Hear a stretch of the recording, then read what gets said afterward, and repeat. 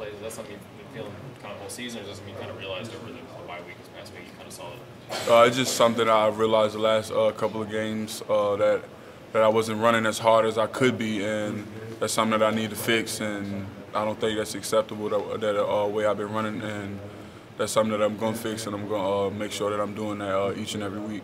How Yeah, is what what you you're how is what you're seeing from offenses different compared to last year?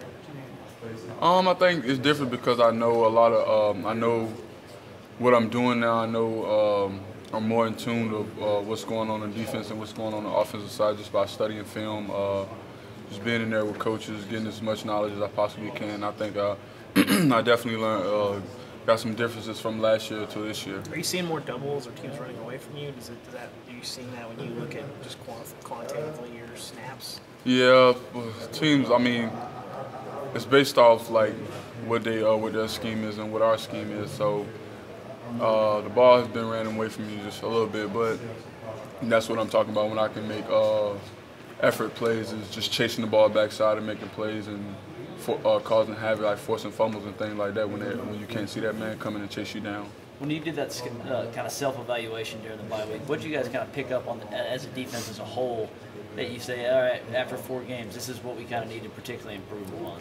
The only thing that we need to improve on is no mental errors, and that's just uh, us knowing our assignment alignments and techniques to play uh, for each specific call. You talk about some of that frustration. Is, is that maybe the, some of those doubles, some of those chips? Is that maybe causing some of the frustration that's making you not run so hard sometimes? Is that just kind of human nature a little bit? Uh, I think it's human nature just a little bit when you uh, you get frustrated on some plays and you just you like for a second you're just like dang I can't get to the ball because they keep running away from me or this or that.